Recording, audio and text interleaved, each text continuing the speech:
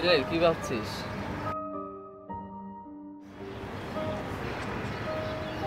কালকে থেকে এক্সাম কিন্তু এখনও কিছু করা হয়নি। ভাবছি কীভাবে পাশ করব এত ভাবাভাবি বাদ দে তো। ফেসবুকে চলে দেখবি সব কিছু সমাধান হয়ে গেছে।